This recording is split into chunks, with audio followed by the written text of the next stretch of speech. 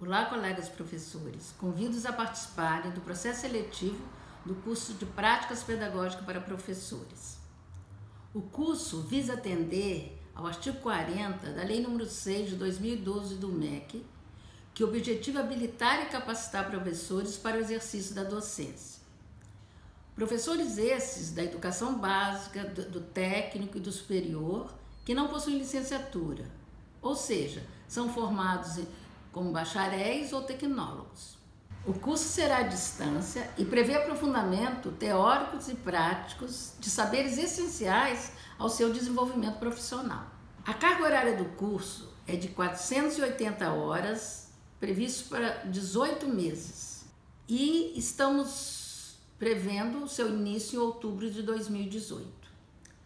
O trabalho de conclusão final será uma intervenção pedagógica utilizando práticas inovadoras, tanto na, em espaços formais ou não formais de aprendizagem.